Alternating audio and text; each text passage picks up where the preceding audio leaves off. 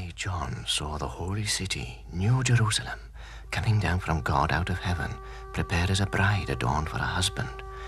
And the foundations of the wall of the city were garnished with all manner of precious stones.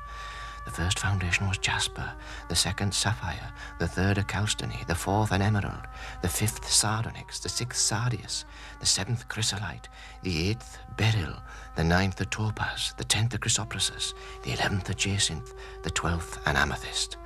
And I saw no temple therein, for the Lord God Almighty and the Lamb are the temple of it.